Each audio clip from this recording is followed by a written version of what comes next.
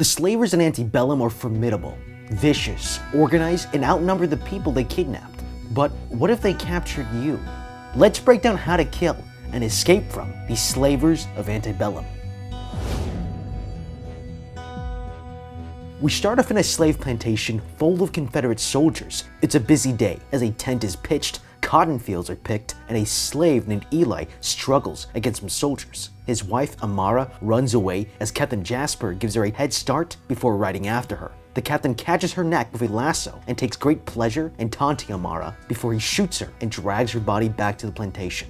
The slavers dominate every aspect of the plantation. There are so many Confederate soldiers eager to do the most savage things. They watch every move, so any attempt at an escape must be very carefully planned and executed. That night, Eden, our main character, is visited by the general. He demands she say her slave name, and when she refuses, he beats her, punishing her for trying to escape along with Eli and Amara. He brands her back with a hot iron, and it's only then that she gives in. The general leaves her behind as she weakly gets up and watches as a brick shed starts to burn. Six weeks later, Eden and the slaves pause while picking cotton as they hear what sounds like thunder, but the skies are pretty clear. Captain Jasper rides on by and demands the slaves continue working while singing one of them tunes. The slaves refuse to sing, instead whistling a tune, except for one of them who whispers to his friend. And almost immediately, the man is hit by Captain Jasper who threatens him to stay quiet as this snooty, bougie white bitch in the dress rides by. Remember her, she'll be coming up again later. Inside of her cabin, Eden greases the hinges of her door when suddenly someone knocks. Picking up a frying pan, she opens the door and sees that it's Eli, who's adamant they need to try escaping again. Eden shoots down the idea, stressing caution. However, Eden has been practicing sneaking out as silently as possible, which is very clever, and greasing the doors so it doesn't squeak is genius. These are excellent details to consider when preparing for an escape. The other victims could try to do the same every night. Eden spots a group of people being brought onto the grounds. She rushes over as Captain Jasper calls her over to stand near the slaves who have no idea what is going on here. That white bitch from earlier walks up to inspect the slaves and has her daughter name them. One of them is a woman who's given the slave name Julia. Captain Jasper introduces himself and the plantation to the slaves. It's a reformed plantation captured by a division of the Confederate Army that these slaves will be working on for the rest of their days. None of his people will allow any backtalk from the slaves, and in fact, they forbid any of them from speaking, either to each other or to their new masters. They are only to talk when they are told to, and if they think about whispering to each other or something, the Confederates will know and will punish them for doing so. Now, escaping is a very dangerous endeavor. Every move will risk their lives. Many might think it's best to wait until they're discovered and keep their heads down, but for most, coping is no longer acceptable. It's time to fight back. That being said, being compliant is the only way to buy time before a plan to escape or seek revenge. No talking obviously makes this extremely difficult, especially when you need more help to make your plans work. A way around this might be to start a working song to hide a conversation, or sing a coded message that sounded like a hymn understood only by her fellow victims in the right context. Inside her cabin, Eden is rubbing these strange indents in the building's wall when someone knocks at the door. This time it's the new slave, Julia, who she immediately drags inside away from prying eyes. Something interesting is that Julia recognizes Eden, who's famous for something. Famous enough that Julia knows where she's from. Eden tells her very plainly that whatever she was before doesn't matter anymore. Julia can't accept being stuck here and demands they try to escape, an idea Eden shoots down by showing her the brand she got from last night and telling Julia that they must wait and choose our moment wisely. It's a reason that Julia can't accept because she's pregnant and sees that Eden is their only way out of here. That night, a platoon of Confederate soldiers march into the plantation chanting blood and soil, which is strange because that is not a Southern war cry. Blood and soil comes from a slogan that's associated with Nazi Germany, a big clue that something's not quite right about this place. The soldiers have a lavish meal inside that big tent from earlier as the slaves stand by and serve. They're waiting for the general, who congratulates the soldiers for their victory over the Union Army showing them a Union soldier's coat as a sign of this. He delivers this grand racist speech about how they were descended from gods, that they are retaining their heritage, that America is their rightful inheritance, and finishing off by letting all these soldiers know that the female slaves serving them are available to serve their every need. Time to kill Captain Jasper and everyone else for that matter. This setting would be a perfect ambush. The men are relaxed, not at guard, and preoccupied with their food and alcohol. If there was advanced knowledge of this event, setting fire to the tent with the men inside is a possibility. First, they could knock the poles out to collapse the tent, leaving the men scrambling. Then surround the tent, holding down the ends, light it on fire by throwing an oil lamp or torch into it, and watch it burn. A young soldier calls over Julia to his table and introduces his shy friend who can barely tell her he thinks she's beautiful. He stutters trying to invite her to serve him, but Captain Jasper comes to his rescue and tells her to prepare to serve the soldier. As she leaves, the soldier's friend reminds him that he's in charge here. There's nothing these women can do to stop him. Inside the nervous soldier's cabin, Julia talks with him and learns that his name is Daniel and thanks him for being so kind, praising him for not being like the rest of those monsters. Suddenly, he smacks her and all those nerves from earlier disappear as he yells at her for daring to talk back. He only stops after kicking her in the stomach and experiencing what might be guilt before leaving. Eden listening in as she feels those strange indents in the wall once again. Time to kill Daniel. This might be one of the only opportunities they have to kill this guy without drawing too much attention. The rest of the soldiers are away celebrating, and he's expected to be in the cabin copulating all night. Eden and her friend could have hatched a plan where her friend distracts the man, and Eden sneaks in to attack him with a branding iron. They could tie him up and find out where the nearest town is before knocking him out and crushing his head, giving them a chance to escape quietly in the night to go get help when no one is looking for them. The next day, Julia comes late to the cornfields on account of her injuries. She begs Eden for help, who insists that she wait and keep silent. But she begins screaming as her skirt is drenched with blood. Eden tries to get her to stay quiet as Captain Jasper makes his way over to punish Julia, but Eli is able to distract him by calling him a cracker.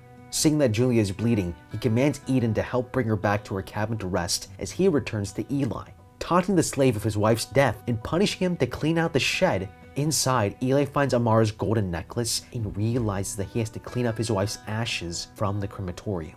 That night, we see Eden sleeping in the same room with the general. Time to kill the general. Another great opportunity. The risk, however, is that these soldiers live on the plantation too, so if someone goes missing, it would quickly be noticed the next day. That means any plan of attack must happen the same night they escape.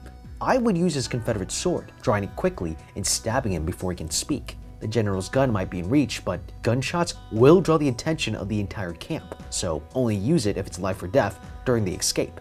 Suddenly, a phone alarm goes off, following Veronica Henley, who wakes up in her bed next to her husband Nick, who asks if she's had another bad dream. Now, Veronica couldn't be any more different from Eden, as she's got a loving husband, a nice house, and a precocious daughter named Kennedy. Veronica finishes freshening up, putting on her lipstick, and having a Skype call with this white woman named Elizabeth. And she is really snotty, snobbish, and you'd think she'd be polite to Veronica, but she's racist and speaks to Veronica in a very condescending way.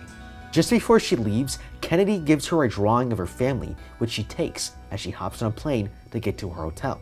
It's after a hot yoga session that she meets up with her friend Dawn. She leaves her room and meets up with another friend named Sarah. She makes a reservation for Sarah and Dawn at a restaurant with the concierge who's very rude to her, ignoring her to take a call and clearly unhappy to make the reservation for Veronica. Upstairs, a woman in red breaks into Veronica's room, and she's revealed to be Elizabeth, that woman from the Skype call. She uses and steals Veronica's lipstick, she pulls out strands of her hair that dump on the bed, she scatters and makes a mess of a few magazines, and the cherry on top is the pin on her collar. It's the exact same design as the brand that was burnt onto Eden's skin. At the conference, Veronica makes a speech on the role of colored women, their way of life under repression, how they are the future, and that the patriarchy's greatest vulnerability is its arrogance. When she's done speaking, Veronica goes back to her hotel, get ready for a night out. And as she's in an elevator, this creepy little girl comes in. Not only does she look like that little girl from the plantation, but she tells Veronica to be quiet because she will get in trouble for talking. When they get to the restaurant, they're given this dinky table placed right next to the kitchen, even though there are plenty of other nicer and empty tables nearby.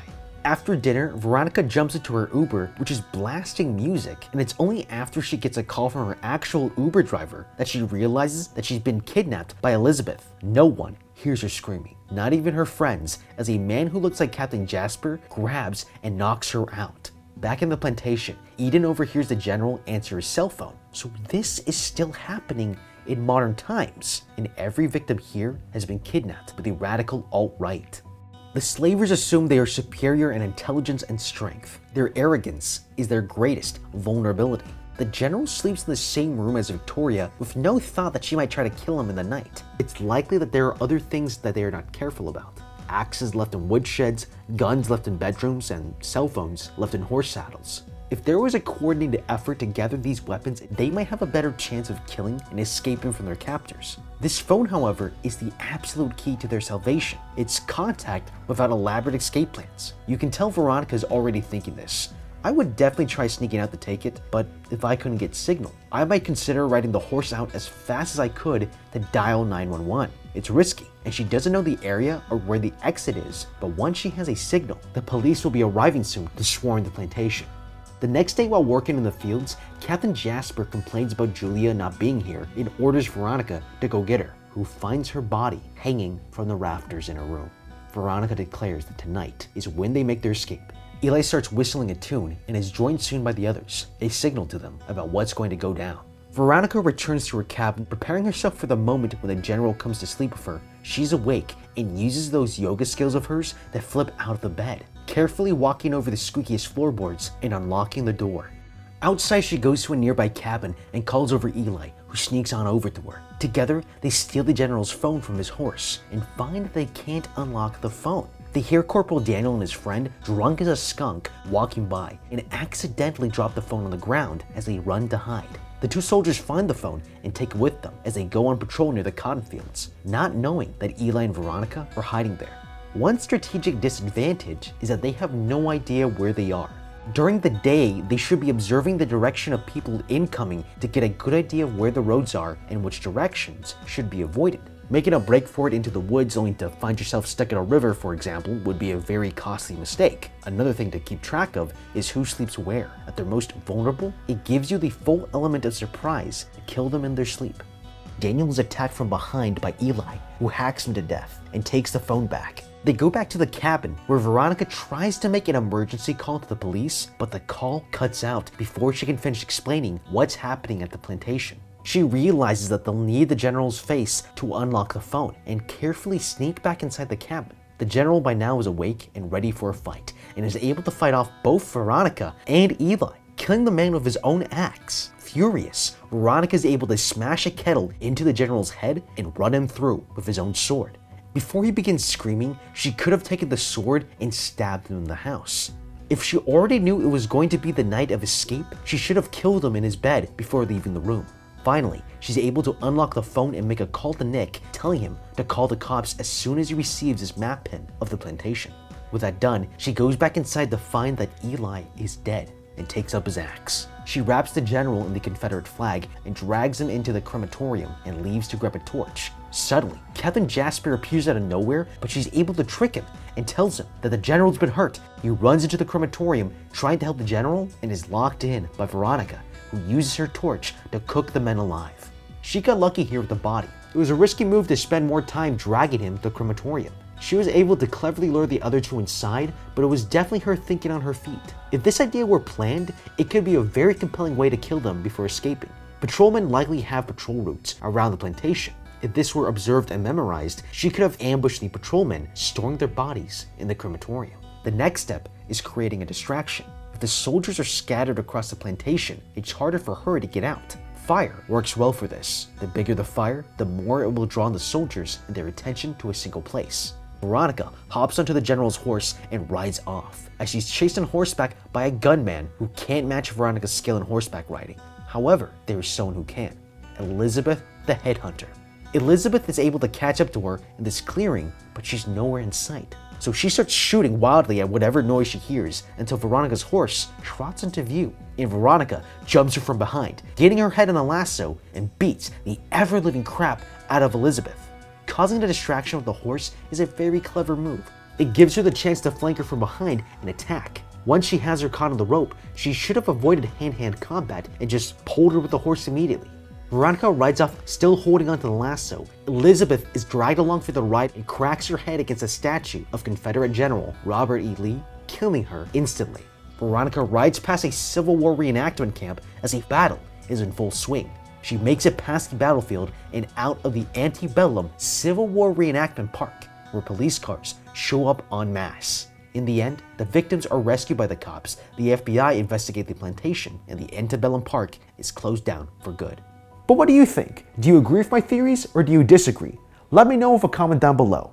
With that said, thank you so much for watching. Leave a like and subscribe, and check out the playlist that's up on the channel. Until next time, have a damn good day.